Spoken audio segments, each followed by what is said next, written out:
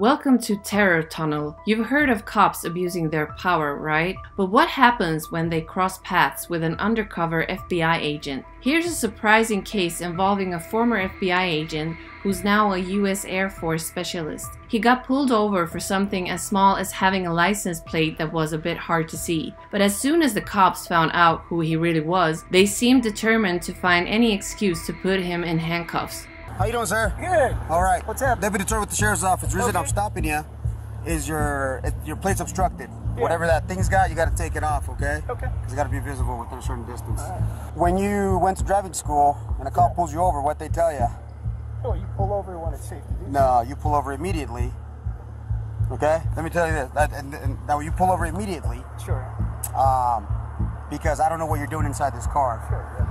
Hiding guns. You know what I mean? Officer safety is number one. From the get go, it's pretty clear that this cop is in the wrong and might be dealing with a bit of a superiority complex. Just so you know, it's not always necessary to pull over immediately for various reasons, like not obstructing traffic and ensuring safety. But the deal is, you should aim to pull over as soon as it's safe to do so. If safety is the top priority, slamming on the brakes and swerving to the side of the road, especially without a proper shoulder, might not be the smartest move. And this isn't the only issue with the cops' actions. There's more to the story. Who are you?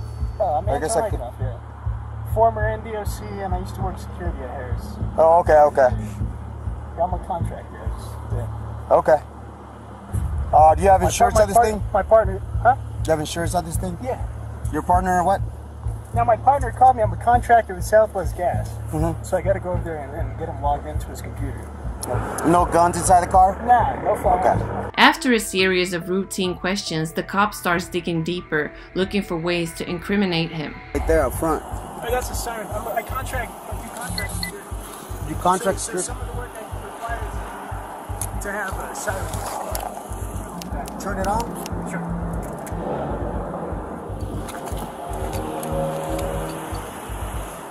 Got wig wags in the back too.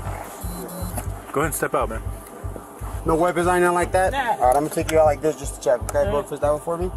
So you're not uh like law enforcement, right? You're not a law enforcement officer? Yeah. Okay, so you said you work security, right? Okay. I'm a con- I'm a security contractor. Copy. Whose car is it? Who? So I'm gonna put these on for now, okay? Because uh, when relax. There you Might see well that makes it better. Lights. Now, the agent finds himself in handcuffs, completely baffled about why he's being detained. He can only assume it's because of the lights, but the cops haven't bothered to provide a clear reason for his detention. However, things take a bizarre twist when the officers discover exactly who he's working for. out exactly who he's working for, things take a very strange turn. Why haven't you taken the lights off of there? Yeah, I do contract work, so I have to have lights on this vehicle for some of the work I. They shouldn't be that color though. Yeah, they shouldn't be red and white, brother. Yeah, it depends on who you're contracting with. If you contract with law enforcement agencies, it's different. Which agencies do you contract with? The various ones. DOJ. Name some. A DOJ. Sure. So you have a DHS. contract.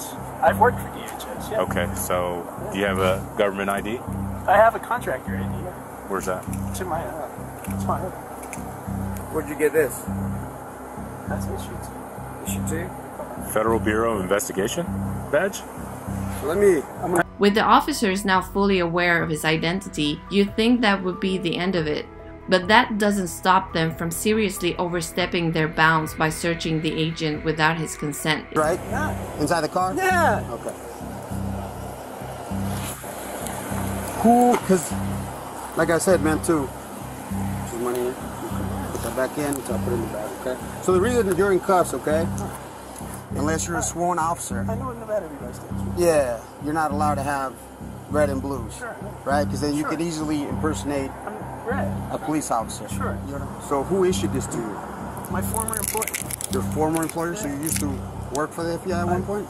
I've contracted with the Department of Justice and the FBI and other Here in Reno. here in Reno? Where's their office at, or what? Uh, resident agency. It's um, off of. Uh, it's next to Wells Fargo. It's right by the traffic circle there. Okay. Uh, I'm just I'm throwing it out because I have no idea. It's pretty clear that these officers aren't pleased that the agent has answers for all their questions. So they resort to a manipulative and corrupt tactic by asking questions they know he can't answer in an attempt to incriminate him. Since you got the badge, where's your creds at?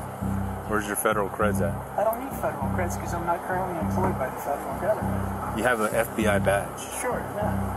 Okay, I used to be a task force officer with the FBI. Okay, which task force? Safe Streets. Yeah, Okay. So you know Elkington? no. Okay. So when did you work for him? I'm not answering that. Okay. Well, I'm texting somebody right now. If you impersonate a federal officer, you know you're gonna get in trouble for that. Right? Okay. And like I said, with the red and blues, that alone right there, okay? That's what you're That, that, but that's not that's not an offense in and of itself to have red and blue yes, it lights. is. And I'm going to show you the NRS. To NRS. actually run, you have to actually run those No, you don't. They're in your vehicle, and I must destroy those. Okay? And I'm going to pull up the NRS for you. I went to a Okay. police officer academy. I know what that Or is. you might again, but I went. Have they through- updated the NRS? Let Have me they? show you. Have they? Okay. And let me let's go over here. That we can get a let me get a bag. So that was issued to you, you say, right? That little FBI deal. You know, you didn't steal it or find it or no.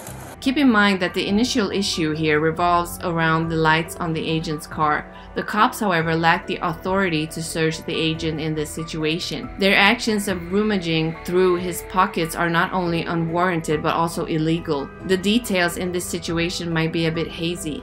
It's generally illegal for a civilian to have red and blue emergency lights on their vehicle. But in this instance, the agent never activated them. When he did use such lights, it was while working under contract with an official law enforcement agency. Additionally, he never presented himself as an FBI agent full time, so he wasn't impersonating an agent. The cops didn't detain him for actually committing a crime, they detained him because they believed he might commit a crime. This is somewhat similar to arresting a licensed gun holder simply because they could potentially use the weapon for criminal purposes. On the other hand, this next case is much more straightforward and highlights the sometimes hilarious power trips that cops can find themselves on. I hope I don't see you get your ass on the street, because I'm gonna drive the and you can tell your goddamn everybody else Back on July 16, 2022, the Muscogee County Jail was dealing with a major overcrowding problem. Many officers had to wait outside the facility to book their suspects. This situation arose due to a crime suppression procedure in place in the city, leading to a substantial influx of suspects. But as the jails grew more overcrowded, the county sheriff decided to call off the procedure. However, this decision was ignored by the police in Muscogee. Consequently, cops in the area were instructed to process prisoners in a specific order based on who apprehended them. Local deputies came first, followed by state patrol officers and then the Columbus police officers. As you might expect, not all cops were thrilled about this arrangement. When one deputy rightfully attempted to cut in line, tensions started to rise. Won't let us in.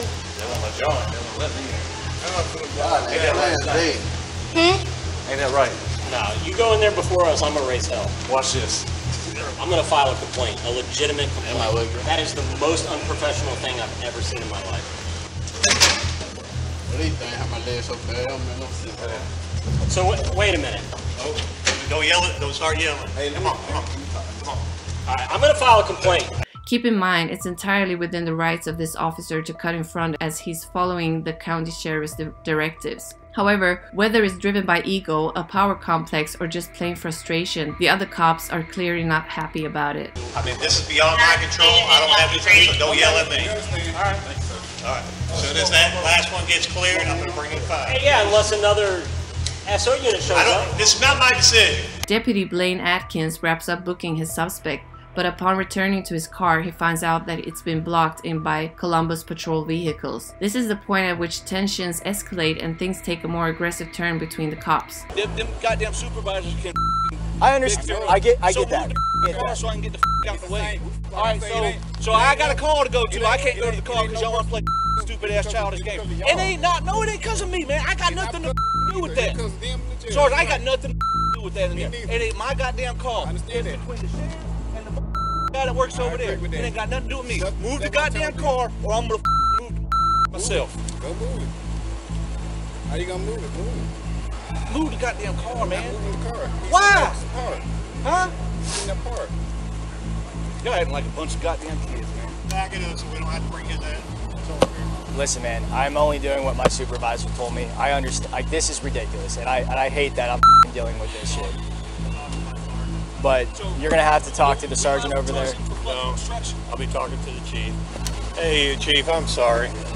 We got a situation over here. We got CPD won't let our guys out, and they're about to get go to blows. I'm asking your CPD officer to back up his car, and his, he's saying that his supervisor told him not to. Now, what's interesting about this interaction is that the officer makes it clear to the lieutenant that he's just following his supervisor's instructions. This isn't a mere misunderstanding between individuals, it's a full blown clash between two entire police departments. Meanwhile, in the midst of this dispute, there are citizens in danger who are left without assistance due to this disagreement. No, most of us are kind of at a standstill. Do I have anybody on Forest Road reference to 7511? Hey, sergeant, we got. I think we're, we're all standing on the wall of the jail. What car is it? Hey, move your car, bro. Fantastic. I try to get through, and they immediately halfway open it shut it on me. And I hear through the there's a deputy standing next to me on the radio. That female officer's trying to get get into the door. Do not let her in that door. Do not let any officer through that door. From PD. From from the jailer. The jailers are saying that through their radio. So they won't even let us through the door. Tensions are at an all time high between the cops, with sergeants even having to split cops up to avoid fights. I don't want to fight. Everybody in. Everybody in. So, what do the cops do when they feel threatened? They bring out the handcuffs. It's pretty bad, dude. Because They wouldn't that even deputy, really that deputy was about. He was saying, "I'm about to arrest you for obstruction." Yeah. To me. Yeah. This guy's got a call, but then my sergeant's telling me not to move. Right. I have this. And then when I started backing up, uh, he told me to stop and get to him. What about arrested all of them for not doing their job? Right. I really wish it's not my car right there, dude. I'm gonna leave the keys in there, dude. I, I really not wanting to to be a part of a to get charged with a crime, dude, for a stand, dude. Telling you right now. It took more than an hour and the arrival of the Columbus police captain to calm down the situation. Ultimately, all the suspects held by Columbus officers were released with a court summons, even if they were facing felony charges. If you're a fan of thrilling and eerie content, don't forget to hit that subscribe button so we can keep you updated on all the latest in the world of horror, creepy crime stories, and much more. See you in the next video.